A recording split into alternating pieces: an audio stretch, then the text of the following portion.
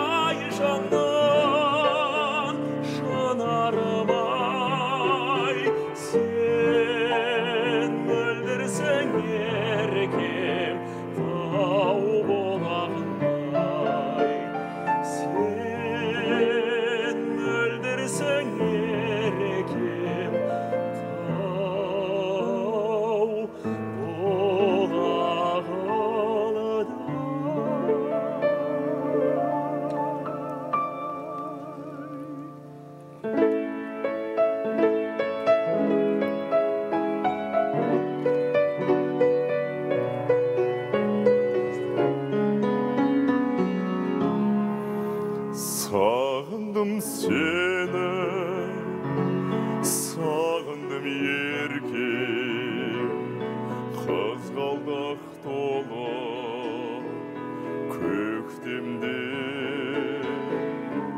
сағындым еркем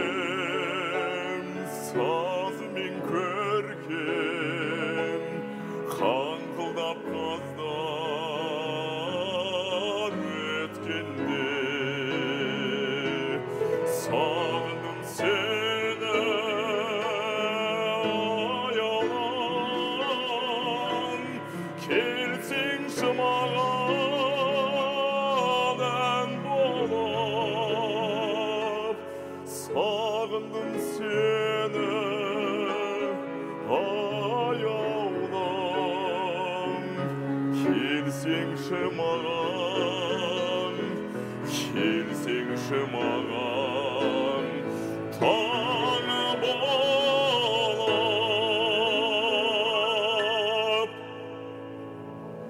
Ай бәрекелді. Қымбатты көрермен, Абай атындағы Қазақ ұлттық опера және балет театрының солистері Фархат Кубиев және Бекзат Абитов сіздерге тамаша әндерден шашу шашты, ал күй сандықта сүйемелдеген Лаура Алпыспаева.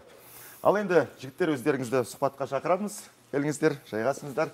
Лаураға алғысымызды білдіреміз. Көптен көп рахмет.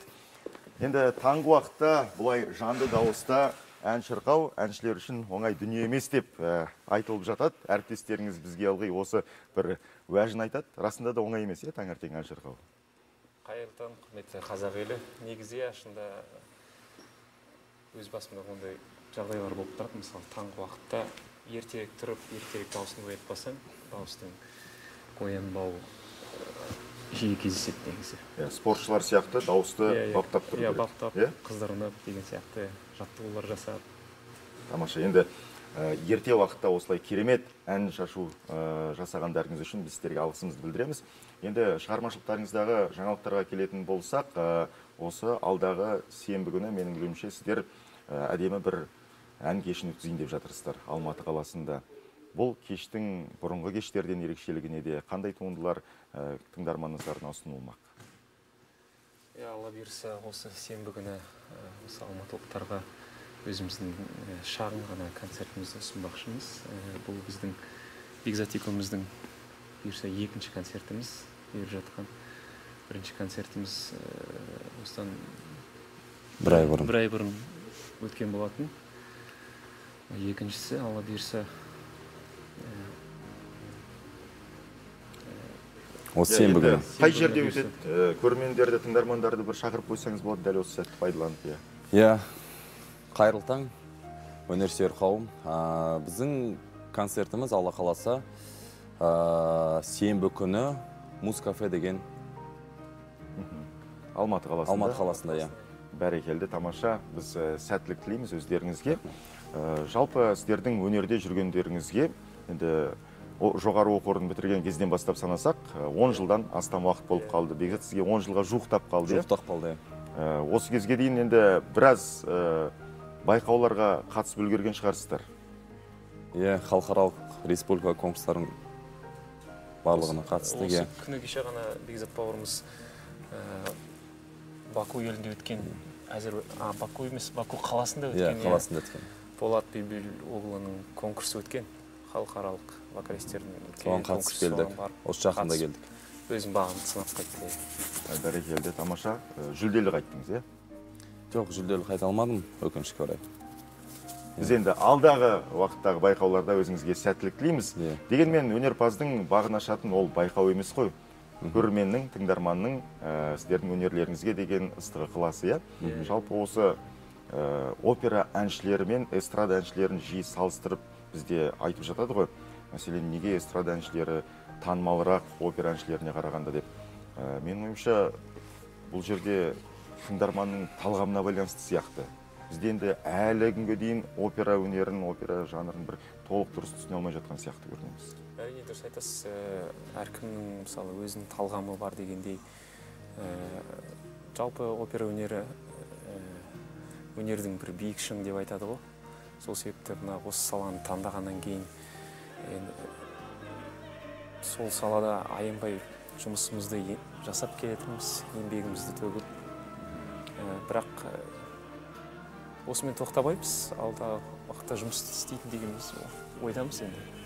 Ә, бәлкім бір түрлі эксперименттерге бару керек шығар. Ә, мәселен андре бачелли деген әлемге әйгілі әнші бар. Оның дауысын тыңдасақ әр опера әншісі сияқты да орындайды. Және эстраданың да элементтері бар. Содан кейін бе кейде енді қалың көпшіліктің бір жоғары ыстық махаббатына ие Иә, болады музыкада ықыласына ие болады. бар. Енді поп опера деп айтады жаңағы сіз өзіңіз айтып отырсыз ғой. Опера мен жаңағы эстраданың араласқан түрі деген сияқты. Ондай бағыт бізге қазақстанға келгелі 10 жылдан асты негізі. Қазір сол бағытта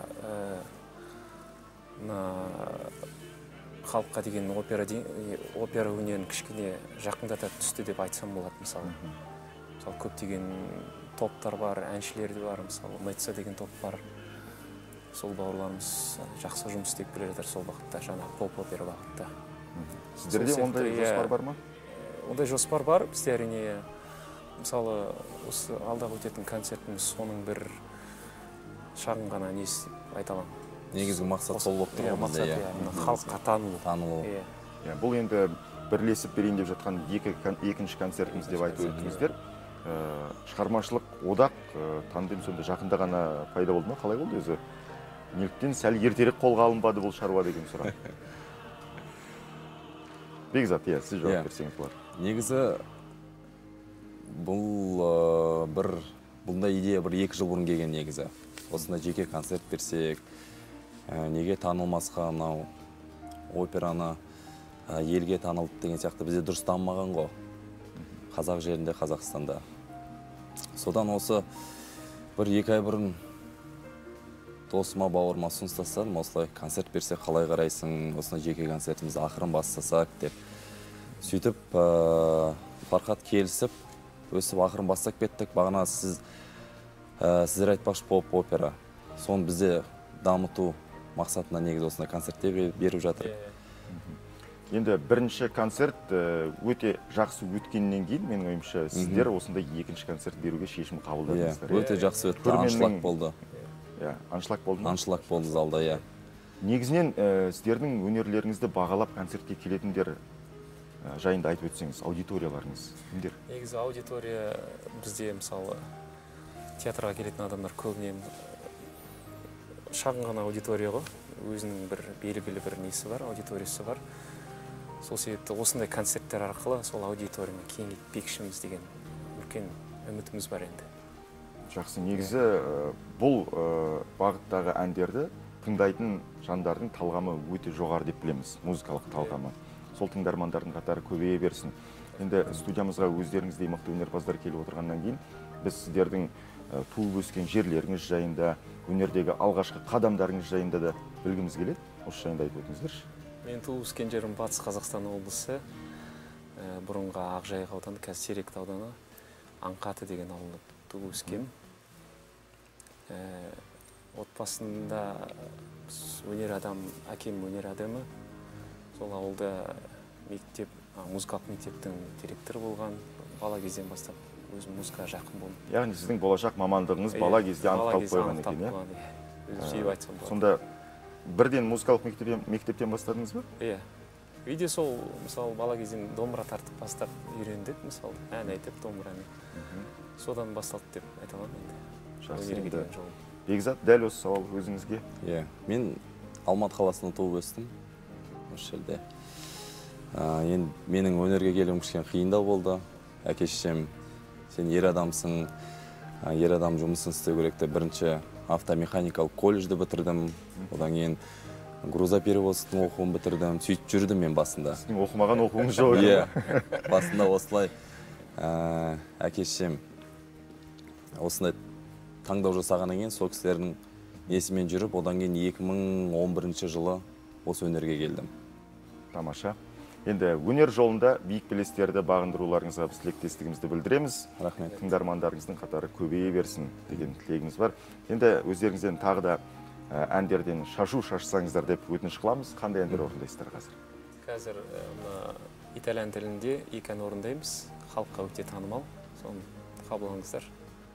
Жақсы. Олай болса сіздерді сахнамызға шақырамыз.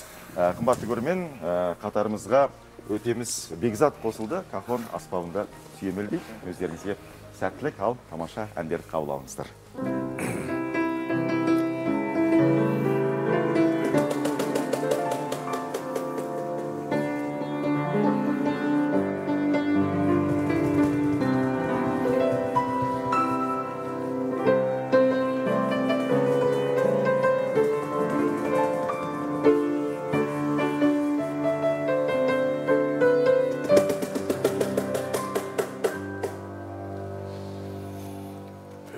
pensa che sogna così non ritorni mai più.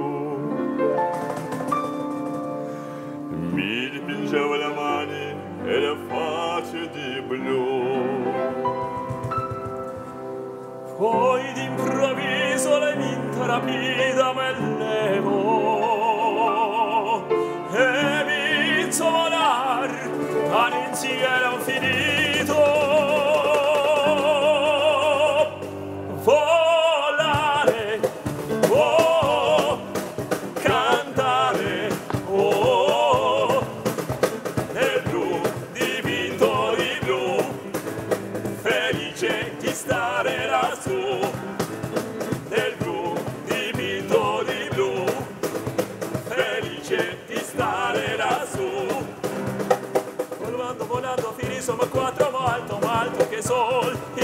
cosa de paz y un fuera de mí. Una música dolce socada sola para mí. Volaré.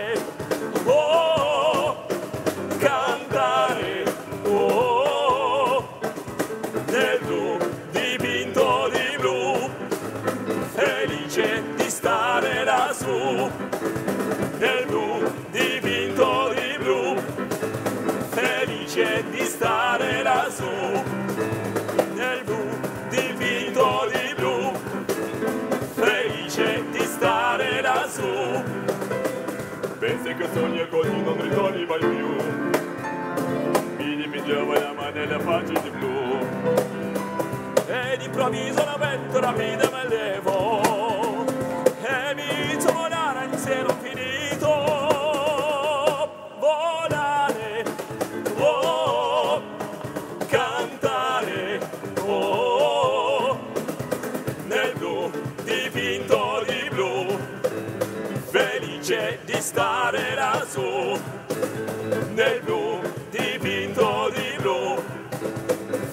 Felice di stare lassù nel blu dipinto di blu. Felice di stare lassù ай бәрекелді. Тамаша. Қымбатты көрермен абай атындағы қазақ ұлттық опера және балет театрының өнерпаздары бүгін біздің студиямызда қонақта болды. Тамаша әндерін ұсынды. Сіздерге табыс тілейміз. Көп рахмет. Рахмет.